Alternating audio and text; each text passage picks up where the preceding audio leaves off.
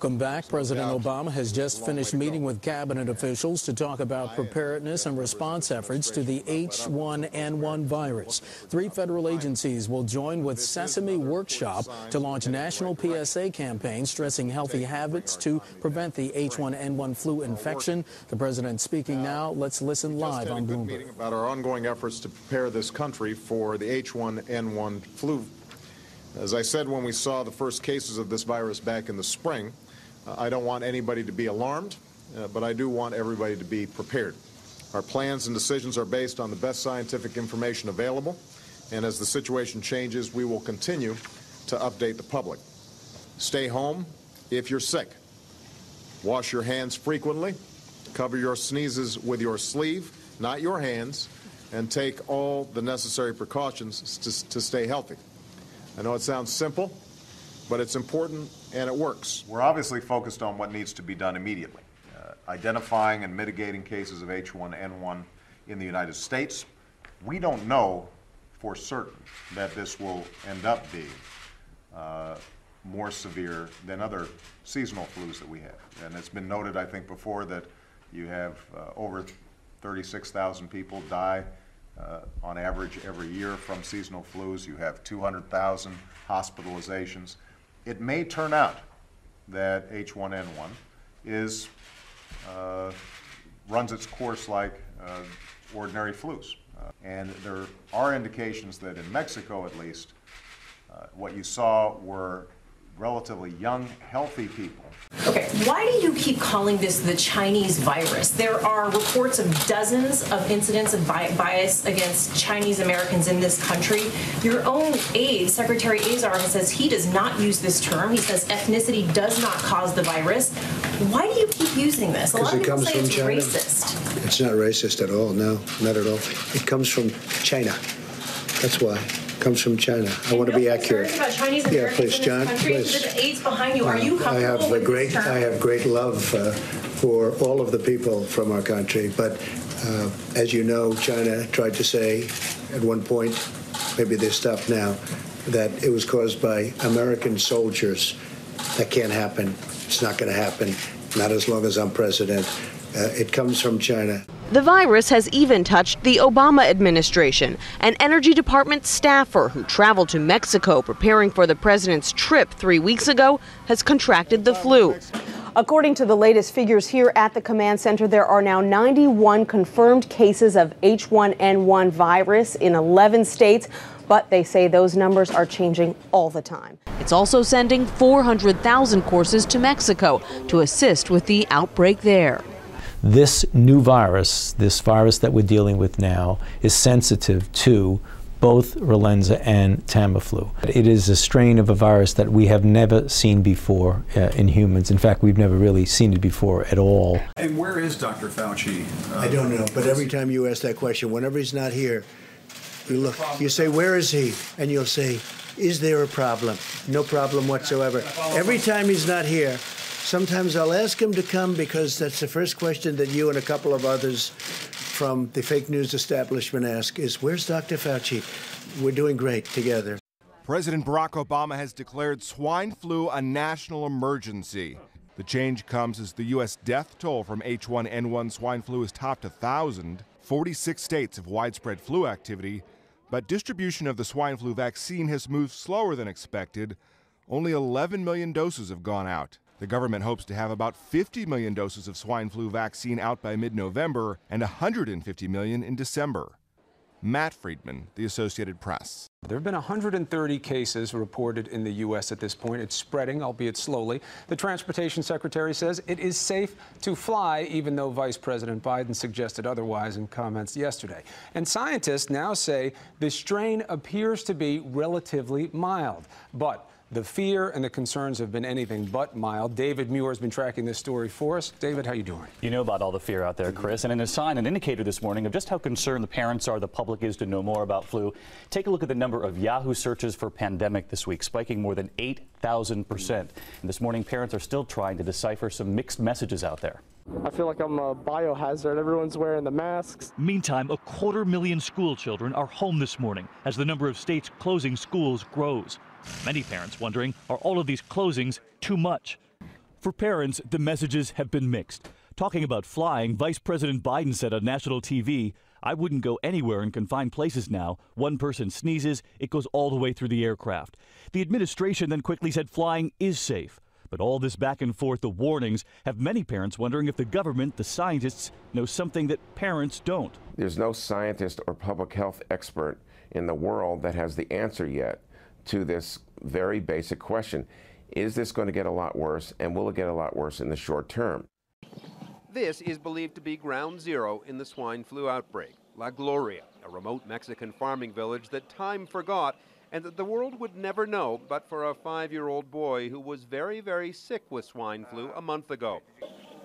Today, we found a very healthy Edgar Hernandez with his little brother and father on the village's dusty main street. Were you sick? Yes, he says. You, you were sick? Very, muy enfermo? Very sick, I ask. Yes, he says, with a cough. How do you feel now, I ask.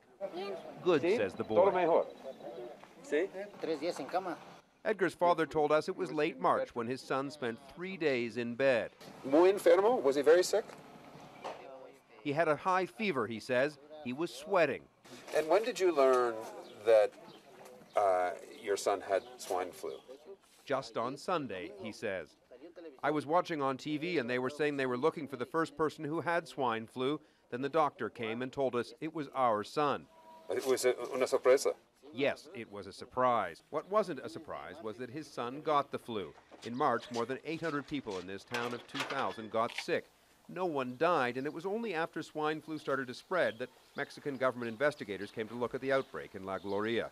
She was told not to say anything more to us. When people here heard that a case of swine flu had been traced to this area, few were surprised. We also met a security guard who works for the company that owns these farms. Podemos entrar y, y no, you're not getting in, said the security guard. Some of your neighbors think that, you, that this came from the pig farms nearby. Yes, he says, they're just eight kilometers away. We would like them all to leave because they're going to infect us all. Different subject, if I may Except ask. We're covering a different subject today. Go ahead. Different subject, if I, Go if ahead, I may ask. Try Mr. President, you have said nobody could have seen this pandemic coming. Uh, but in fact, Secretary Azar at a biodefense summit in April 2019 said, of course, the people, uh, of course, the thing that people ask, what keeps you most up at night in the biodefense world? Pandemic flu, of course. I think everyone in this room probably shares that concern. Your own Health and Human Services Secretary was aware that this had the potential of being a very big problem around the world, a pandemic of this nature. Who dropped the ball? A chance to get the hard to find H1N1 vaccine produced a polite stampede of parents and not so happy children in Fairfax, Virginia this morning. Oh, yeah, it's definitely hard to get. It's the only place you can find it right now. Whole families skipped Saturday morning cartoons and braved the rain and the line to snap up 12,000 doses of the drug. Experts say it will likely spread further. So much like a disaster declaration before a hurricane, the president today declared the swine flu a national emergency. The White House says it's not meant to scare anyone. It simply loosens some bureaucratic red tape to make it easier for hospitals to get what they need should the epidemic get worse. Delays in producing the H1 vaccine means some of the children we saw getting shots today may have trouble getting the recommended second shot a few weeks from now. The White House said there'd be 120 million doses of the vaccine available by this fall. They've cut that prediction to 50 million doses they hope to have ready by mid November. The key point here, Jeff, is we don't know what the future will bring in terms of H1N1 cases, and that is largely why the president took this preparative step to declare this uh, national emergency. Basically, the earlier we get the vaccines, the better. Absolutely. Okay, Dr. Jennifer Ashton, thank you so much. Well, I always knew that pandemics are one of the worst things could happen. Uh, there's been nothing like this since probably 1917. That was the big one in Europe. It started actually here and went to Europe, probably. Uh, uh, I've heard about, excuse me, wait a minute, let me finish. I've heard about this for a long time pandemics. You don't want pandemics. And I don't think he was talking about a specific pandemic. He was talking about the threat of a pandemic could happen, and it could happen. Most people thought it wouldn't, and most people didn't understand the severity of it. This is very severe. What's happened is very severe. And the government is spending $250 million to buy 13 million more courses of Tamiflu and Relenza. President Obama explained the move in a special cabinet meeting. even if it turns out that uh, the H1N1 uh, is relatively mild on the front end, it could come back in a more virulent form during the actual flu season. The man spearheading flu preps at Health and Human Services says hospitals will never have enough beds to handle a pandemic. It's just not cost effective to build those facilities and have them sit empty. He is confident, though, that there are enough medical supplies and doctors, and they can be shifted around the country as needed. Because most countries are now advising against travel to Mexico, airlines are starting to slash service, some by as much as 50%. Katie? All right, Nancy Cordes, thanks a lot. If you are preparing for a pandemic, if this government were preparing for a pandemic, why is it we don't have en- enough masks? Why is it we don't have enough medical equipment in this Previous country? administrations gave us very little ammunition for the military and very little shelf space. Let, let me just tell you, you know it. You know the answer. Uh, the previous administration, uh, the shelves were empty. The shelves were empty. So what you should do is speak to the people from the previous administration, Jim, and ask them that question because the shelves were empty. And you know what else? The military shelves were also empty. We had no ammunition, literally. And that was said by one of your favorite generals. We have, sir, we have no ammunition. Guess what? We had very little medical supply also. The president talked about parents and businesses having a contingency plan in case more um, more children need to stay home for, from school. Do you know exactly what he means by contingency plan? Well, I, yes, I do. For example, that uh, uh, the a, parent whose uh, child's school is closed uh, out of a precaution, or because there has been a confirmed case of, uh, of flu, uh, um, is should not take that child then to a daycare center. They're going to have to take them home, and the hope is that the employers will have will be generous in terms of how they treat that employee's necess- necessary action of taking the child home and not being at work. And so the urging is the contingency plans the businesses should have if they're going, if this hits in a way that their, their uh, employees have to care for their children. Our Jake Tapper asked the president if he thought that the previous administration had sanctioned torture, and this is how the president responded. Mr. President, you said several times that the United States has ramped up testing, but the United States is still not testing per capita as many res- as many people as other countries like South Korea. Why is that, and when do you think that that number will be on par with other countries? Yeah, well, and it's, Dr. it's very much on par. The, the- look, and you should be saying congratulations instead of asking a really uh, snarky question because I know exactly what you mean by that. You've said repeatedly that you think that some of the equipment that governors are requesting they don't actually need. You said New York might need I- I not, might not need thirty thousand. You said it on Sean Hannity's Fox News. You said you know that why you don't, might. why don't you some- people act? Let, me ask you. You said why some don't you act? Why don't you act in a little more positive? It's always trying to My get you. question to you get is- you, get you. And you know what? That's why nobody trusts the media anymore. My That's question why to you is, people, how is that gonna impact? excuse me, you didn't hear me. That's why you used to work for the Times and now you work for somebody else. Look, let me tell you something. Be nice. Don't Mr. be President, my threatening. question Don't is- be threatening. My first question is you said that you don't take responsibility, but you did disband the White House pandemic office. As a sort of coda to this video, I wanted to do a uh, piece on an item of contention whether President Trump closed the pandemic response team. There was an editorial on that topic in the Washington Post, and that's what I'm putting this piece in. Normally, this would be a separate video, but I'm beginning to think that I'm not going to be posting about topics during the Biden Harris administration. Uh, what would be the point? So, this coda is just going to be put on at the end here. It's my possible farewell to posting on any political topics as I look to safeguard my family and live life under the opposing administration of Biden Harris. It's what uh, Americans do whenever their party loses an election, and this time is no different. I believe that the Biden administration obtained office through fraudulent means, but I'm not going to be posting about that every week or possibly ever. So, enjoy the next four to eight years of a Democrat socialism, and I will check in with you at some future date. Thank you. President Donald Trump was accused of closing the White House's Pandemic Response Office. In this remarkable op ed in the Washington Post, a member of the Pandemic Response Office responded to the accusation. No, the White House didn't dissolve its Pandemic Response Office. I was there. Opinion by Tim Morrison, March 16, 2020. Tim Morrison is a senior fellow at the Hudson Institute and former senior director for counterproliferation and biodefense on the National Security Council.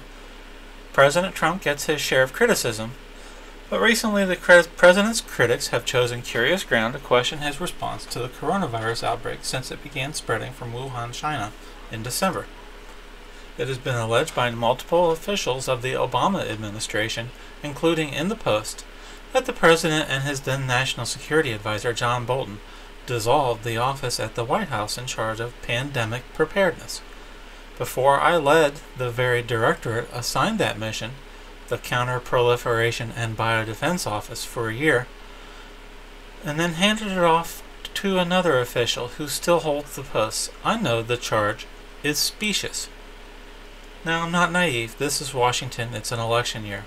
Officials out of power want back in power after November but at the middle of a worldwide health emergency is not the time to be making tendentious accusations. When I joined the National Security Council in 2018, I inherited a strong and skilled staff in the Counterproliferation and Biodefense Directorate. It is true that the Trump administration has seen fit to shrink the NSC staff, but the bloat occurred under the previous administration clearly needed a correction. Members of the Obama administration itself all agreed the NSC was too large and too operationally focused the NSC staff had quadrupled in size to nearly 400 people. This is why Trump began streamlining the NSC staff in 2017.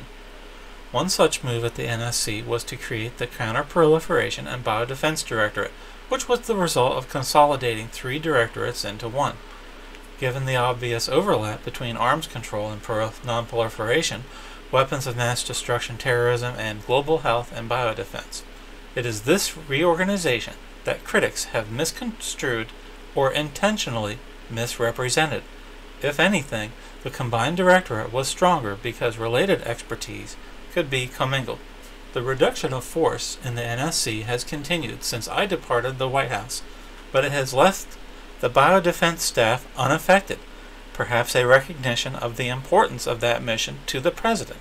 The NSC is really the only place in government where there is a staff that ensures the Commander in Chief gets all the options he needs to make a decision and then makes sure that decision is actually implemented.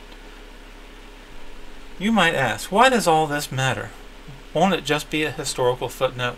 It matters when people play politics in the middle of a crisis. We are all less safe. We are less safe because public servants are distracted when they are dragged into politics. We're less safe because the American people have been recklessly scared into doubting the competence of their government to help keep them safe, secure, and healthy. And we're less safe because when we're focused on political gamesmanship, we're not paying enough attention to the real issues. For example, we should be united behind ensuring that U.S. companies are encouraged to return to our shores from China in the production of everything from medical face masks and personal protective equipment to vitamin C and penicillin. And we should be united in demanding to know why the Chinese Communist Party, CCP, was aware of the coronavirus outbreak in Wuhan early in December, maybe even November, and didn't tell the rest of the world when stopping the deadly spread might have been possible. Just as the United States has fought against false information aimed at our elections, we should fight back against CCP propagandists. They are not only campaigning against the use of the term Wuhan virus, a more geographically accurate description than Spanish flu ever was about the 1918 pandemic, but now also promoting the false claim that COVID 19 was created by the U.S. Army. There are real threats emanating from this pandemic. We need to focus on getting our response right and save the finger pointing for what comes after. This is the United States. We will get through this. And for the love of God, wash your hands. Now, that was the op ed published in the Washington Post earlier in 2020. Hardly any of his recommendations were taken seriously by the news media or the Democratic Party. Both of them saw the virus as an opportunity to destroy President Trump's presidency. What was not a partisan pandemic in 2009 became a partisan pandemic in 2020. The Democratic Party destroyed our national unity in order to regain power.